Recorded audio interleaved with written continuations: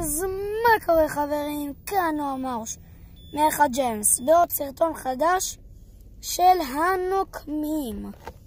והיום יש לנו נוקם ממש טוב בובת פופ. ואני בטוח שאתם די מזהים אותו ממלחמת ה Avengers זה לא אחר מאשר תור איש הפטיש.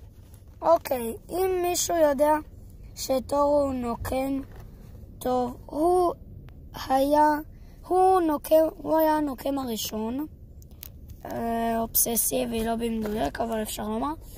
אז חבר'ה, כל מה שאתם צריכים, כל מה שאנחנו צריכים כדי להגיע, זה, אני, זה הדרך להגיע למאה סאבים. אז שימו לייק, פעמון, ותכתבו תגובה. וסליחה על זה, זה פשוט אני באוטו.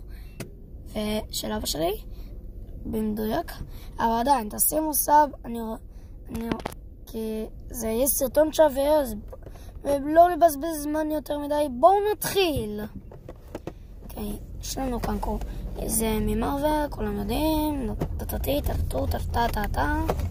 אה, וכפי שאתם יודעים זה מהעידן 2000, כי כן, קניתי את זה בבית שמש. אולי לא בכל הסרטונים אני גיליתי מאיפה אני קונה אותם, אבל עכשיו אני מגלה באמת, כי זה סרטון על האחלות. אני מקווה שלא יהיו טקים. נוציא אותו שנייה רגע.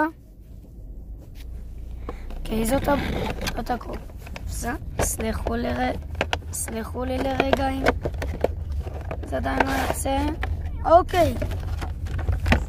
טילינג, טילינג. אוקיי חברים, זה יצא. הבובת פופ של תור. תראו, תראו איזה מגניב הוא נראה.